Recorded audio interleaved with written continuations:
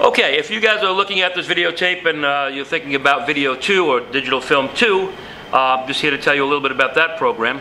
Uh, the Video 2 program is basically an extension of Video 1. We kind of build on what we've learned. You kind of already should know the basics and some of the editing techniques that we've talked about and looked at, and we take that and move it up and kind of ratchet it up a notch. Um, we do a little bit more of what we call director studies. We kind of look at some of the established directors and people who've made an impact in film and kind of figure out how they worked, how they did it. How did they build empathy for a character? How did they get sympathy for a character? Um, what was their style or the signature thing that made them stand out from all the other movie makers? Right? So we kind of look at those elements and see how those kind of things came to be. And then you have an opportunity to work with that and kind of kind of develop your own style and kind of build on the things that you learned in video one.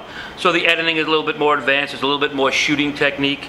Uh, the opportunity to work a little longer projects and work a little bit more in depth uh, is there for you guys.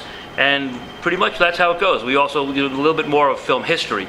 Um, once again, how film influenced our society, but a lot of cultural literacy type of stuff. Like we'll watch the films and we'll go back and we watch some of the um, the classic films and we see how filmmakers of today build on that and carry it forward and how it keeps you know kind of evolving and growing and that's always kind of a fun thing. But once again, it is primarily a production class.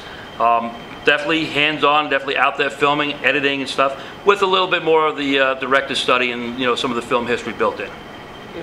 I've always been interested in the way movies are made and what directors, like what the elements directors want to use, like and why they use them, and why like certain things happen and like camera angles and all that always interests me because it really helps you like define who you are kind of because you learn things about yourself that you didn't know like you can find out that you have certain talents that you wouldn't have known like whether you're filming or if you're like you want to be an actress or something then it like helps you get in there and like get experience. Definitely the freedom mr may gives us like we can do whatever we want. He gives us like certain things that we have to work off of like he gives us things that we have to learn and then we have to take them and put them into videos and we get to edit them ourselves. And he shows us how to do everything basically but like he lets us learn on our own at the same time